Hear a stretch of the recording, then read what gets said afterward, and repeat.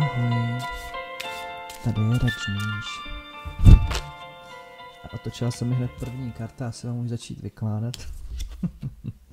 Jeskyňka. Tak, princip nahoře. Ochrana přírody, princip dole. Těhotná žena suší své vlasy. Syntéza housenka a výsledek jeskyňka. No já musím říct, že eh, na tuhle kartu jsem si teď vzpomněl, protože vlastně ona odráží něco z toho, že se mění naše fyzické tělo a my uh, jsme byli zvyklí na to tělo v jiné formě. Možná jsme byli atletičtější, možná jsme byli hubenější, možná jsme ale byli i tlustší a chtěli, chtěli bychom znovu být silnější, protože někdo to má opačně, jo? někdo pořád hubne. A ta těhotná žena, která si suší své vlasy, je vlastně jakoby přeladěním na to, jaké mám tělo teď. Jako, teď mám tělo takové a já se vlastně na něj ladím a je to v pořádku. Jo, těhotná žena by taky nevyřízla z těla svoje dítě, jenom protože. Jo? Takže to je vlastně jakoby po upozornění nebo hm, zpráva o tom, že se přelaďujeme na novou podobu svého těla a lásky plně.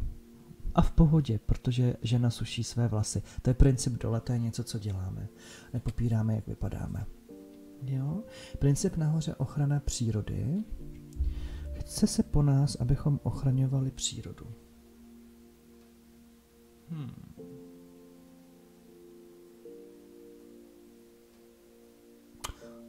Hmm, přemýšlím jak. Možná to každému z vás přijde. Ochrana přírody.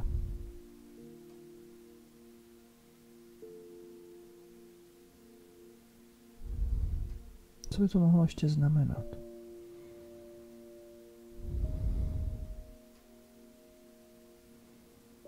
Chce se po nás ochrana přírody.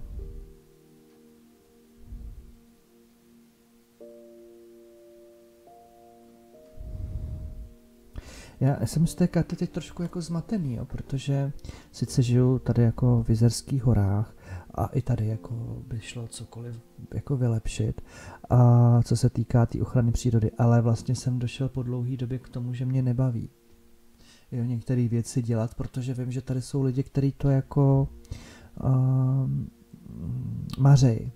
Jo, já bych mohl jít tady třeba kolem paneláku něco sebrat, ale za chvíli tam něco jako letí znovu dolů z toho okna. Jo, a teď jsem šel po ulici a chlav přede mnou odhodil vajgl do trávy. A říkal jsem si, a to je přesně ten typ, co hází ty vajgly z toho balkonu dolů. A teď, když jsem šel, kde uh, rostál sníh, teď už zase sněžilo, takže už to je zase zapadaný, ale když rostál sníh, tak jsem koukal, že podle paneláku jsou jakoby vajgly. A říkám si, a co já s tím mám dělat? Mám tam chodit kolem cizích paneláků a sbírat vajgly, nebo je, jo, uh, že to není jakoby cíl, podle mě. Tak co znamená ochrana přírody? Proč se po mně chce ochraňovat příroda? Jakým způsobem? Uh, takže vlastně mě ta karta jakoby vede do svýho nitra, do mýho vlastního nitra, do mý posvátný jako jeskyně, jeskinka. A asi je na čase začít jakoby čistit ty jedy, které tam jsou. Jedy, které jsou třeba ty pocity zmaru, který mám ohledně toho. Třeba ty pocity zmaru ničemu neprospívají. Třeba to jenom přihušťuju. Třeba mm, si jsem si nechal něco pro sebe, co jsem měl říct. Třeba jsem měl říct tomu chlapovi, to se mi nelíbí, že jsi tady hodil takhle Weigl do trávy. Třeba jsem to na něj měl zavolat, teď byl dva kroky přede mnou.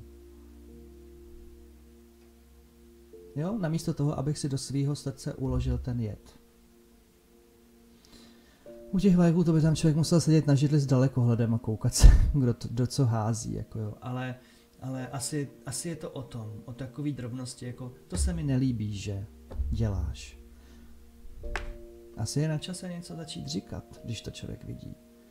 Jo, vybavuje se mi před dvěma lety jsem viděl 100 metrů přede mnou takovou cikánku, šla takhle jako z Tanvaldu do Desní a najednou z ničeho nic lup a odhodila petlahev do trávy, kterou nesla, protože ji dopila. Um, Možná jsem na něj měl zavolat, namísto toho, abych si tady dva roky nes v srdci nějaký jed, že jsem to viděl. Hmm. To je taky přece ochrana přírody. Chráním svoji jeskynku. Nicméně syntéza je housenka. Housenka. Já vlastně jakoby chráním... Uh, co chráním? To, co je v přerodu. Nebo to, co je před proměnou. Chráním vajíčka. Teď jsem viděl video, a kukačky. A říkal jsem si, je, kukačka nemene. A teď ona tam přilítla do hnízdečka, někde asi na seznamu to bylo, a vyházela vajíčka někomu, nebo já už ani nevím, co s nima udělala, nakladla tam svoje. Um, to není taky moc eko. eko. no, ale housenka. Housenka taky žere uh, zelí. Pamatuju si, jak jsme v dětství sbírali housenky na poli z, ze zelí různý. Ale tady to je, že je to symbol, který máme ochraňovat.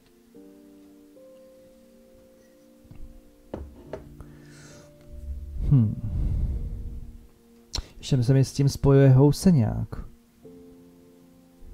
Z Alenky v říši divů. Který tak jako je na té houbičce tam a pokuřuje. Možná, že jsem v nějaké fázi přerodu, kdy mám ochraňovat přírodu, mám začít od sebe a třeba mám problém s cigaretami. Já teda už ne, já už nekouřím, ale uh, přestal jsem. Ale uh, tady to mně přijde, že může být taky jako součást toho přerodu. Jeskyňka, místo, kde jsem, místo, kam zalezu. Jako já jsem tady teď. Hmm. Tak. Dobře, to je takové jakoby téma té, toho týdne. Nadcházejícího. Ještě mi chodí ale vytáhnout jednu z toho balíčku. Respektive ono, ještě mě vlastně nutí to držet tu kartu. Mm, ta žlutá mi připomíná jako západ slunce, nebo východ slunce, to už je jedno. Mm, ta zelená nebo modrozelená mi připomíná nějaký hory. Proč je tak důležitý zůstat u téhle karty?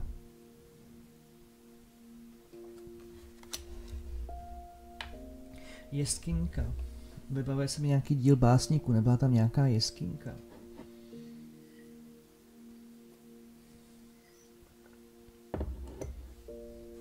Když já nevím, co ona v tom filmu dělala.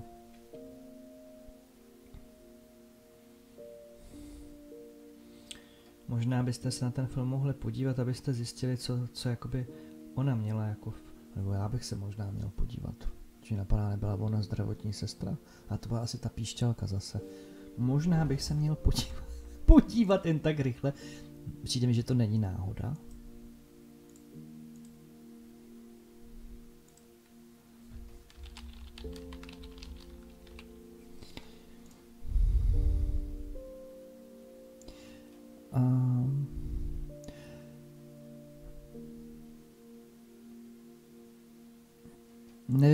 Vyskočil tady na mě článek Jeskýka z básníku po 30 letech.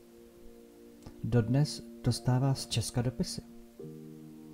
Svůj zatím poslední film natočila Adriana Tarápková před 20 lety. Dnes už nosí příjmení Romanová. U nás ji nejvíc proslavila role zdravotní sestřičky, jeskinky, často reprízovaném filmu Jak básníci přicházejí o iluze. Ten znovu poběží v televizi v neděli.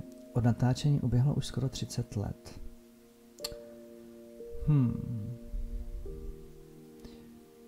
Hmm. No, dobře. Dobře. Možná je to pro mě informace. Nevím, jestli se nám to říká, ale zvažuji nástup do, do nemocnice. Kdo ví, třeba tam někdo z vás taky.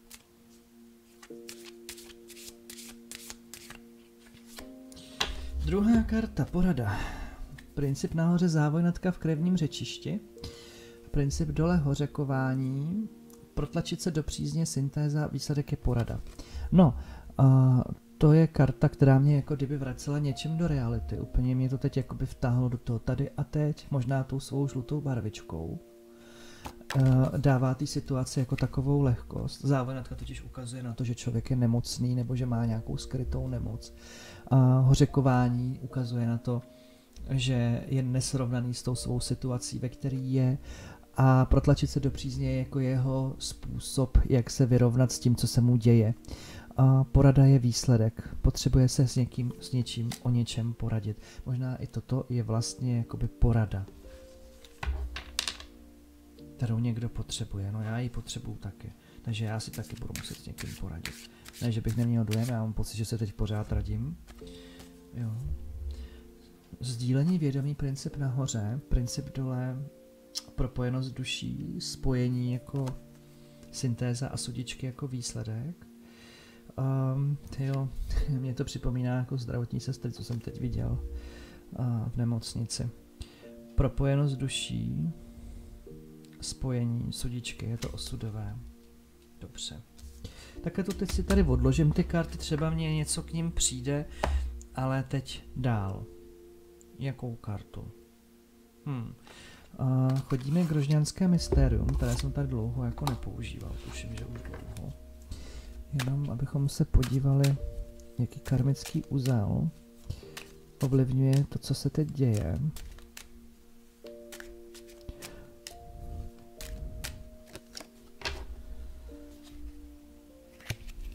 Perla. A na to si musím vytáhnout skripta.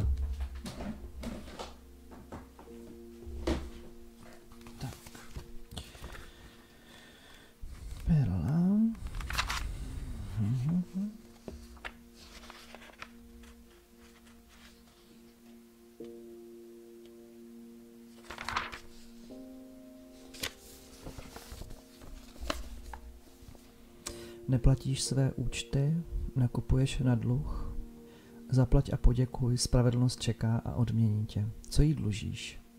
Měnou pro tento obchod je odpuštění. Kolik musíš zaplatit? Právě teď můžeš splatit vše, výhodně a bezúročně.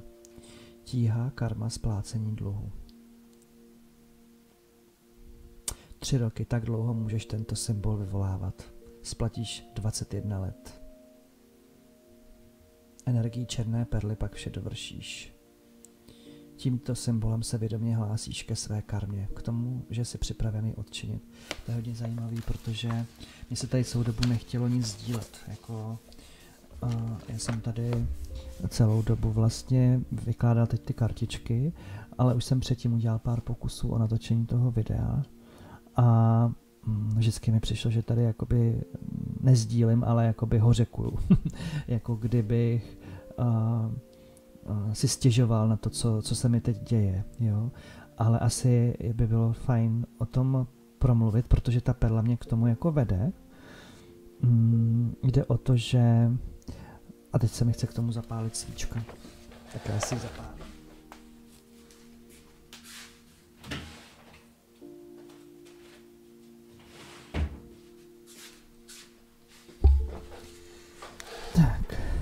Doufám, že jste neviděli můj zadek.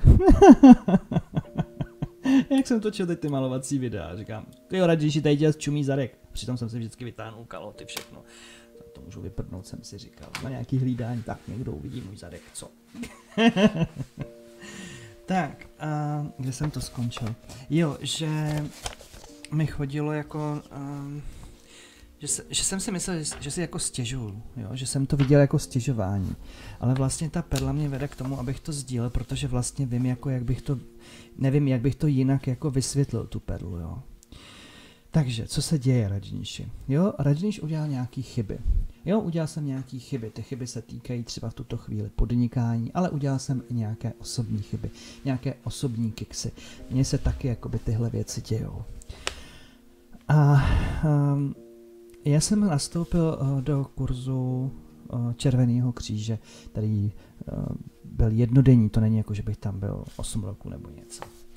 A požádal jsem v nemocnici v Liberci, že bych tam mohl nebo napsal jsem, že bych mohl vypo, vypo, vypomoct a případně, že bych se nebránil dlouhodobý spolupráci. A oni mi napsali, že mi uh, nabízí práci jako pop, jako pracovník obslužné. Ani nevím tu zkratku. Pracovník obslužný na operačním sále. Jo? A ty jo, a mně se spustil jakoby velký silný proces s tím jako přeladit se na to, že Režníš uh, teď bude pracovat a karty mu zůstanou na vedlejší jako kolej, jako, na, jako vedlejší osavače. A teď uh, ta představa, že budu jezdit každý den do Liberce vlakem, že budu vstávat ráno ve čtyři, že teda pracuji na jednu ranní směnu, že se budu vracet uh, v půl šestý, druh, jako v půl šestý večer domů vlakem, uh, že tady bude Amálka sama a teď, uh, že, že budu mít minimální mzdu, že po, po zapracování možná dostanu nějaký osobní ohodnocení, že si můžu vzít směny nějaký navíc a podobně. A takhle mi jakoby s tím jelo spoustu jako věcí, proč to ale říkám? Ta perla, jako mě tam uh, tahne jako srdce, a zvláštní je, že mě netahne sem do Tanvaldu, do nemocnice, mě netáhne do Jablonce, ne, mě táhne do Liberce. Víš proč, Režníšek, klidně si cestuj hodinu vlakem, jako, a pak ještě půl hodiny pěšky, než dojdeš do nemocnice. Proč si to děláš tak těžký? A úplně mi tam chodilo, že je to součást nějakého mýho životního pokání.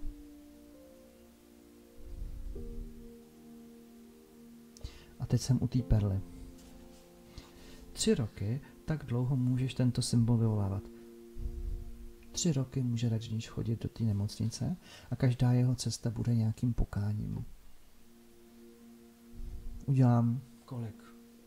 Plácnu.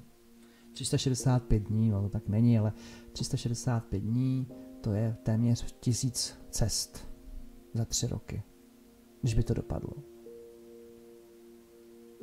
Tisíc cest pokání.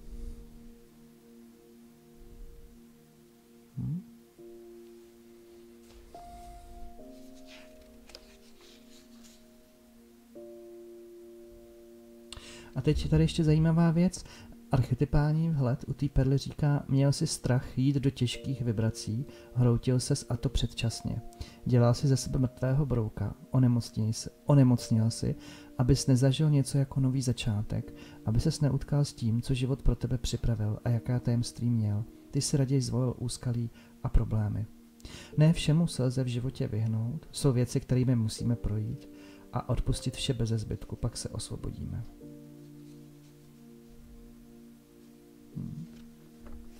Já nevím, jestli to dopadne.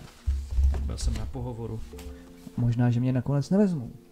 Ale ten, ten proces se tam spustil. A ta perla znamená přesně tohle, jdu do něčeho, co je mi úplně proti srsti. Jako já, jako radžní jsem neplánoval jít na operační sál a být tam při operaci, jako. ne.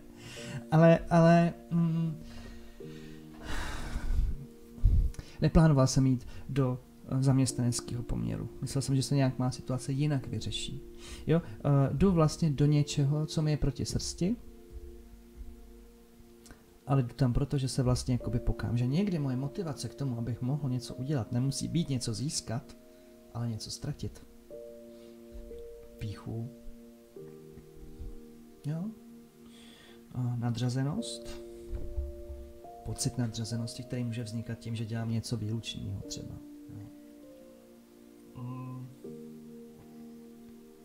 co můžu ještě ztratit. Mm. Nějakou svobodu? Mm.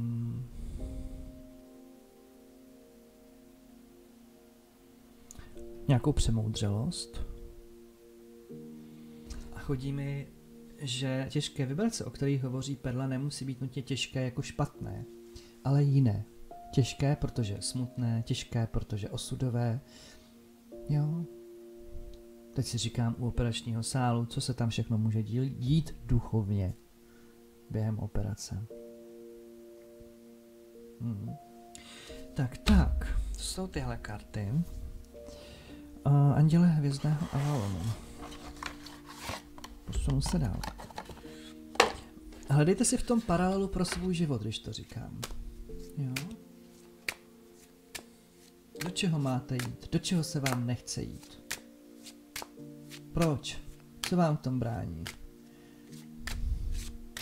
Možná to pro někoho může být jako spouštěcí moment, že začne o tom uvažovat. Pro někoho to může být, že se už mu něco spustilo, je v tom procesu přerodu. A někdo už je třeba i na konci mi chodí. Ale teď se něco schrnuje. Že to neznamená, že všichni stojíte v bodě jako já, ale jenom se podívejte zpátky do svého života dopředu, v jaký fázi tohohle z toho příběhu pokání vlastně stojíte. Splatili jste něco teď třeba. Doplatili jste svůj dluh, který může být čistě jenom karmický. Pocitový. Vypadly mi dvě karty. První je Michiel. Pomíjivost. Odevzdání se obruč. Jak docílíš čistého záměru? Odolávej nutkavému snažení a tvoř svět svědomím, že něco jako objektivnost neexistuje. Duchovní partner může mít zcela jiný pohled na svět než ty. Obruč ale držet můžete spolu. Vše pomíjí i vztahy.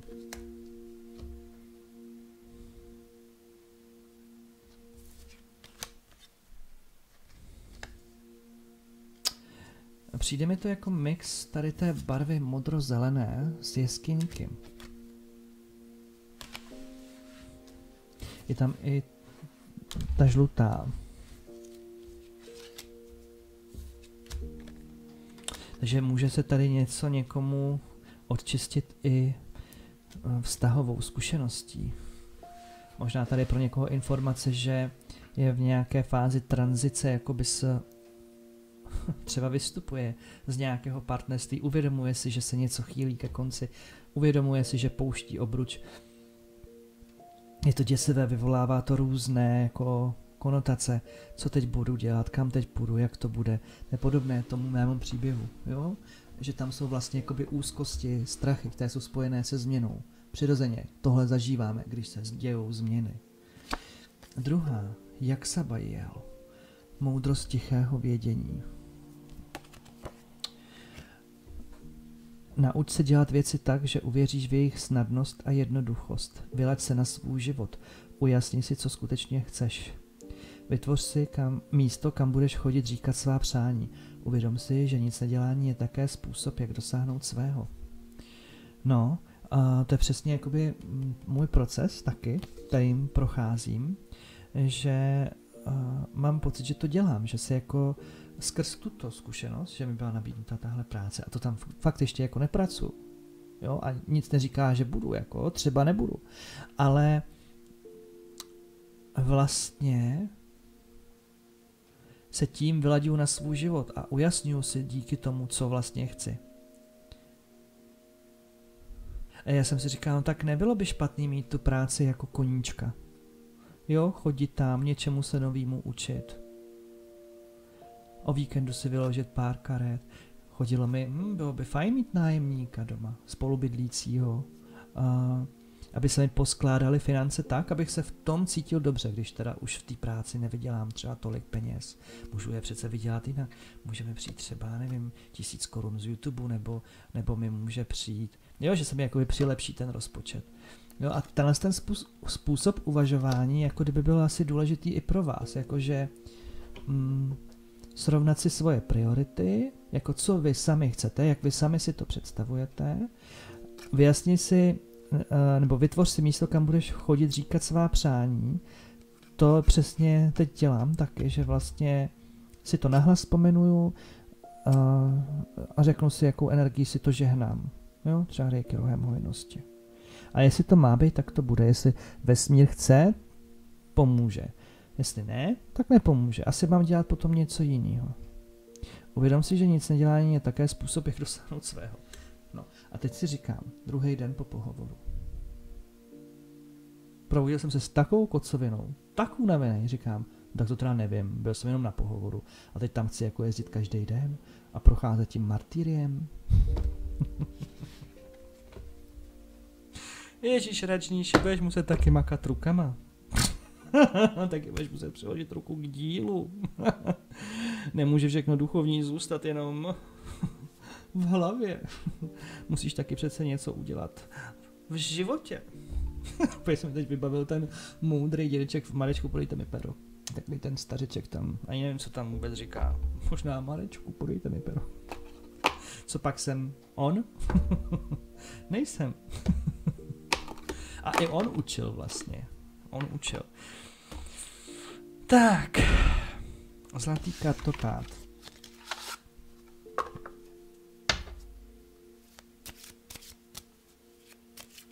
Tady mi přijde, že ty karty jsou tak nějak jako oficiální.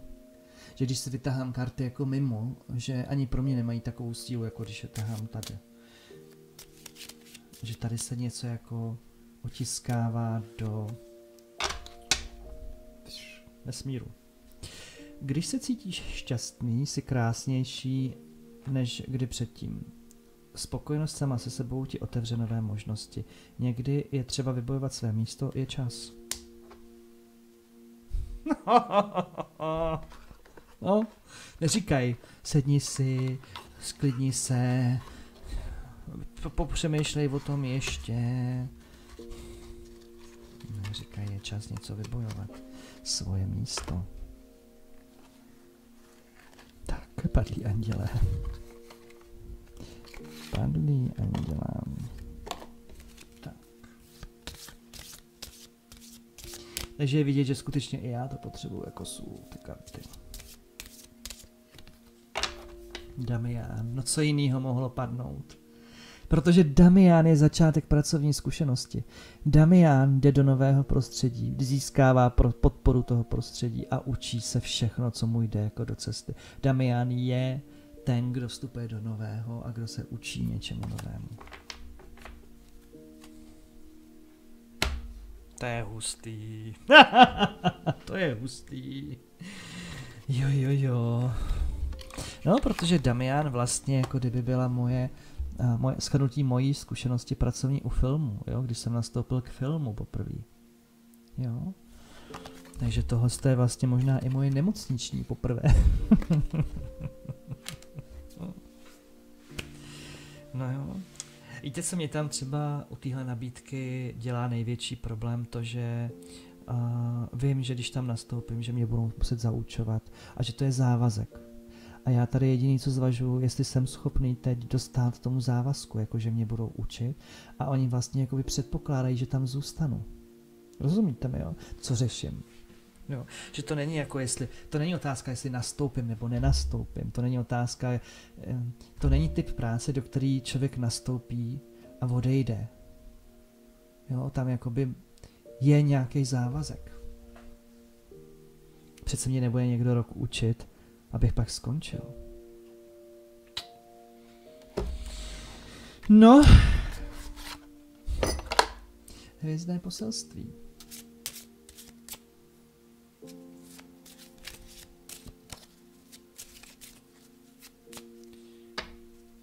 Kež by byl život nějak jakoby jednodušší, jo? že uh, přijde mi, že v některých ohledech to měli třeba moji rodiče snadnější, ale to je možná mílka. Jo, možná si to myslí každý.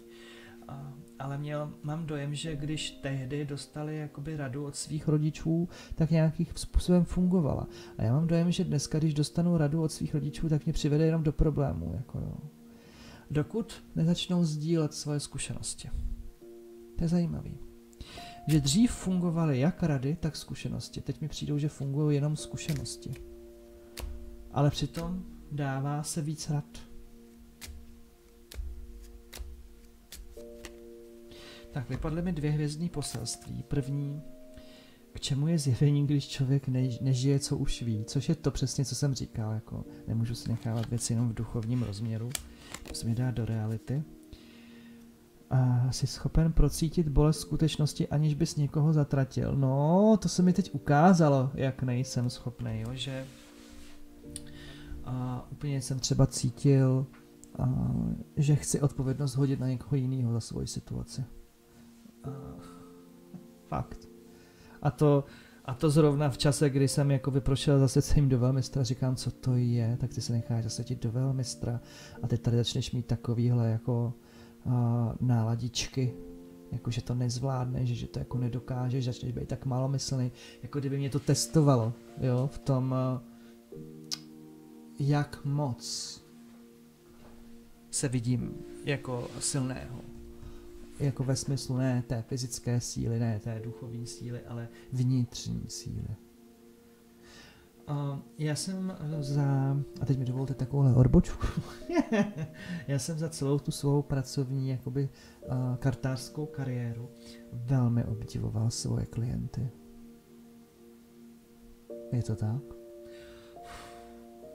Protože mi kolikrát přišlo, že prožívají opravdu hustý jako věci, hustý osudy a mají tolik síly a mají tolik pokory tím projít. A vždycky říkali, oh, Rajniši, a, a jakože mě viděli, jako kdybych to už měl všechno zmáknutý. Jo. A, a já jsem je tak obdivoval v tu chvíli. Ale nemohl jsem nic říct, abych jim nesebral tu jakoby uh, víru, jestli mi rozumíte. Jo. Nemohl jsem s nimi sdílet, že tohle zrovna nemám zpracovaný. Ale cítím, že teď ten čas, kdy to jako říct můžu, je. Jo, že uh, skutečně za celou dobu svého kartářství jsem potkal neskutečně mnoho silných lidí, kteří procházeli obrovsky těžkými zkouškami. Mám je jako ve velké úctě a všechny ty příběhy mi tady jako by teď cinkají. Jako, na co si stěžuješ, Radžníši? Na co si stěžuješ?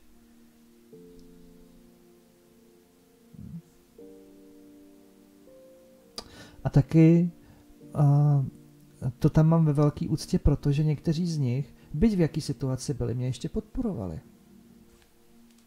To uh, jako člověk nepochopí. Myslím, člověk třeba jako moje maminka. Já ji dám často jako příklad, jo. Ale mm, Moje maminka je prostě normální člověk. a, a spoustu věcí jakoby vidí úplně pragmaticky. Jo? A kdybych jí něco takového vyprávěl, tak by vůbec nemohla najít důvod, proč to ten člověk dělá. Když prožívá sám takové těžkosti. A mě vlastně ty lidi, ti klienti, naučili jakoby být ještě víc jako otevřenější v tom, jak pomoci. Samozřejmě, že někdy nepomoc je větší pomoc. To, to nepo, nepopírám. Ale to je jiný případ.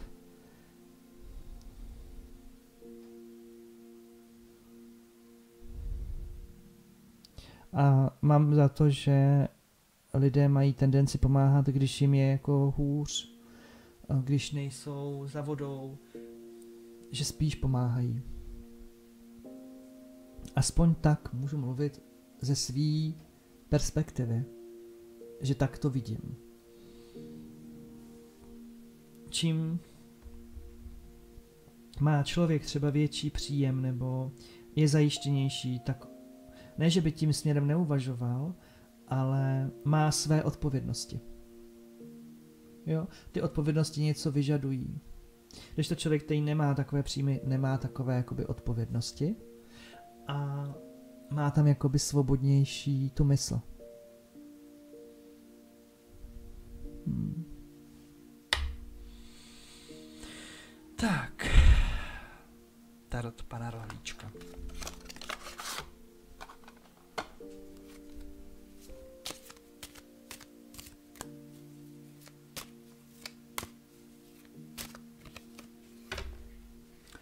Osmička holí.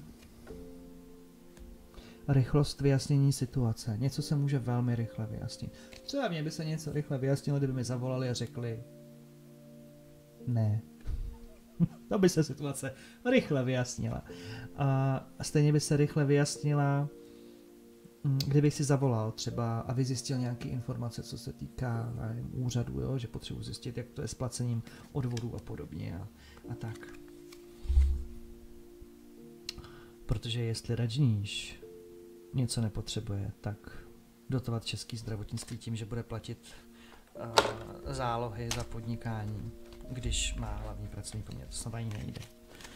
No, možná, že to poslouchá nějaká účetní a hrozí se, co tady Ražník říká. Já si nemůžu několik dní doma, co účetní. Takhle, já na ní nemám číslo, já mám na ní jenom e-mail, já jí píšu z a ticho. Nedostávám odpověď. No, tak, osmička holí rychlost, vyjasnění situace, ale taky by ještě mohlo být řešením zahraničí, vliv zahraničí. Nevím, jak by do toho mohlo zahraničí ještě zasáhnout. Ale jsou to také zprávy na cestě, ještě přijdou nějaké zprávy, objasňující novinky. Ještě se tam něco jako rozčísne, ještě přijde nějaká zpráva. To se opakuju, ale opakuju to proto, že se jako napoju do pole těch zpráv, jako, že to není jako jedna SMS, může to, mě chodí, že to je, že to je jakoby multikanál nějaký, jo? že vlastně může přijít potrubní poštou cokoliv, odkudkoliv a probudit do toho spícího pana Rohlíčka. A vysí to nad jeho hlavou, už je to skoro tady ta zpráva. A já potřebuji, abyste si to představili. Už i nad vámi je teď nějaká zpráva. Jo? Přijde vám takhle, rychle. Objasňující. Tak se zeptáme ještě Tarotu, čeho se to týká. Jo, jestli to můžeme vědět. Jestli tam je ta informace.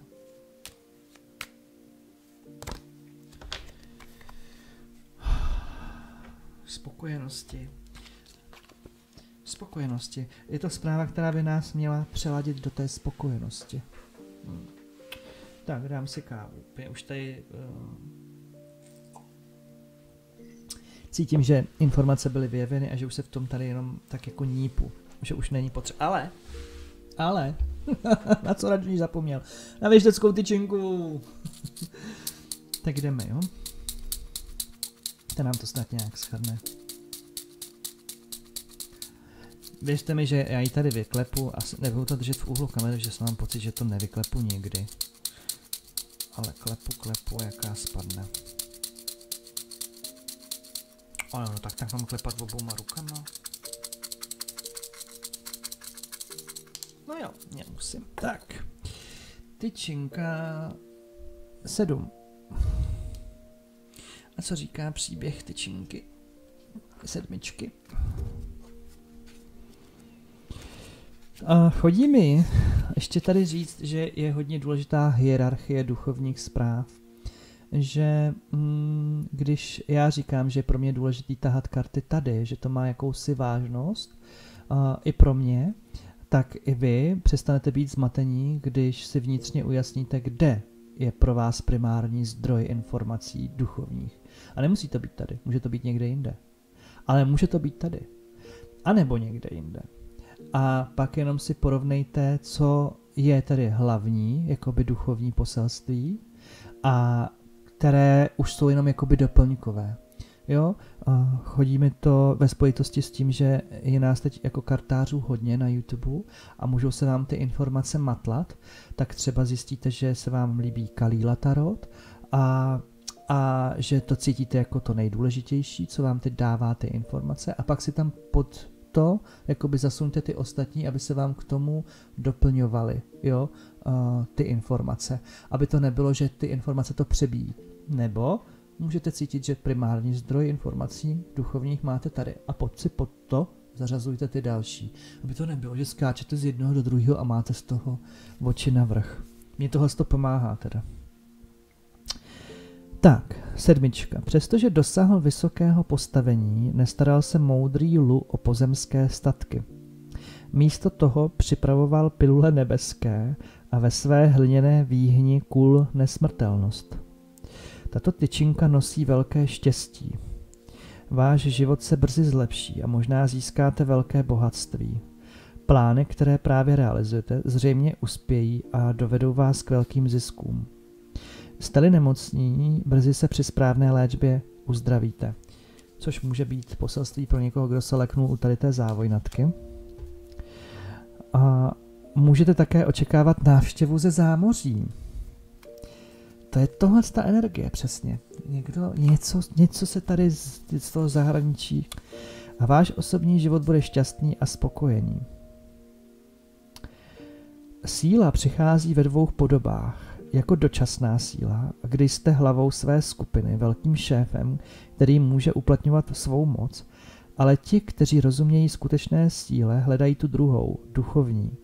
Tato síla nechce velet, ale tak dokonale se spojit s Tao, že nikdy nezemřete a budete navěky žít v jejím proudu.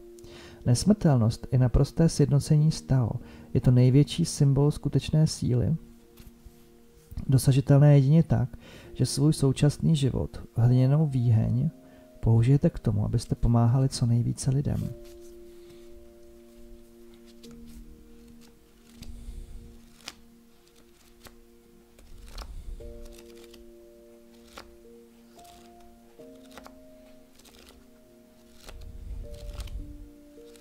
Co vám k tomu chodí?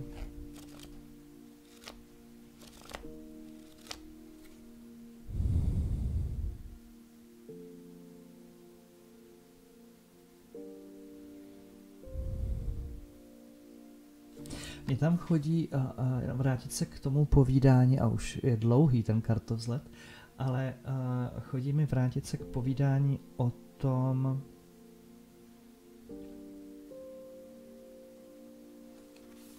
chodí mi to.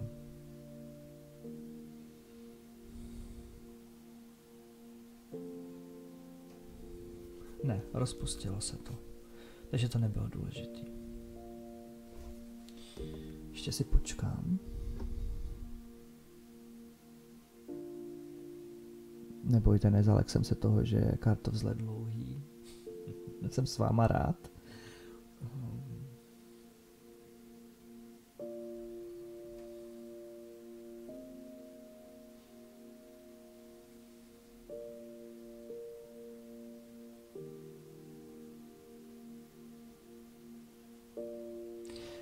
Mi, že takhle to stačí. Že další příběh by to jenom celý zamotal. Hmm. Takhle to nechám. Přijde mi, že to není úplně jako jednoznačný poselství, uh, že jsou tady takové střípky, které se vám jakoby poskládaly, nebo, nebo vám zapadly do určitých míst, které byly pro vás důležité. A pro mě to bylo docela jako um, silný kafe. protože vidím v těch kartách eh, jakoby i neujasněnost svého osudu. A přičemž zároveň v tom vidím i tu determinovanost tím osudem. A cítím tam hodně ze své strany to pokání a chce se mi říct, nemusíte to mít tak, jak já to mám. To je asi to nejdůležitější, že to můžete mít v té odlehčené verzi. Můžete to mít s tím štěstím, které vám přináší ty věštecké tyčinky. Na rozdíl ode mě, který tam cítí třeba víc toho pokání. Jo? Aby to nebylo, že to vy musíte mít v té tíze, ve které to já mám. Jo? A, ale na druhou stranu můžete tam mít otevřeno k tomu, že i to je možnost, jak nebo proč něco dělat. Tak tak. Takhle to už nechám. Takhle to už nechám. Hmm. Dopiju si kávu.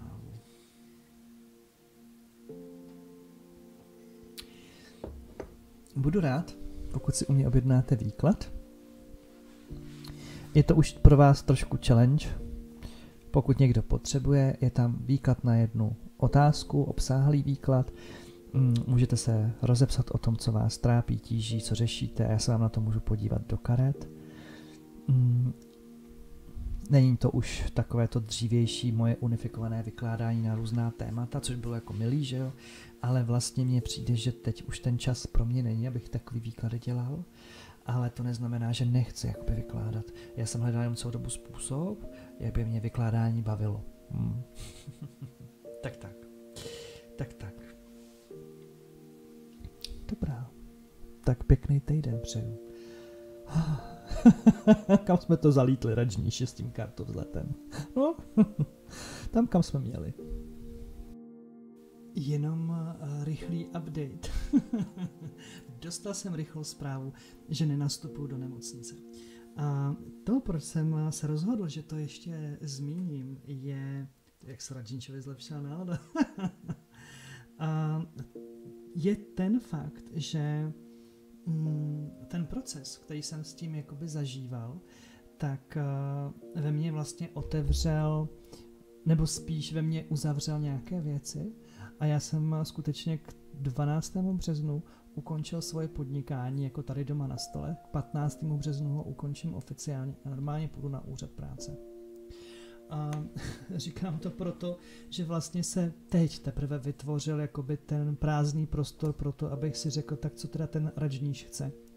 A zajímavý pro mě bylo to, že mm, já jsem se přihlásil na kurz Červeného kříže, abych šel pomáhat do nemocnice jako dobrovolník. Oni mi nabídli práci v nemocnici, pozvali mě na výběrové řízení a řekli ne a jako dobrovolníka mě nevyužili. A což o to, o to nejde. Jde o to, že to byl velmi zajímavý jakoby oblouk, který mě k něčemu přivedl a to, k čemu mě přivedl, abych si udělal jakoby čisto, abych skutečně zakončil podnikání, abych uh, navštívil živnostenský úřad, abych to všude ohlásil.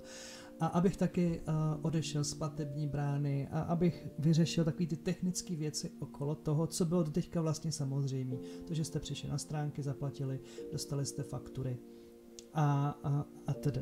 Takže teďka to bude všechno jinak, protože jsem vlastně došel k tomu, že pokud eh, by někdo chtěl využít na individuální duchovní péče, ať to znamená výklad karet, zasvěcení, nebo ať by si chtěl pořídit obraz, tak to bude pouze eh, přes finanční dar. Přičemž já to nechci nějak podmiňovat, Mm, rozepsal jsem se v programu Patron na webu.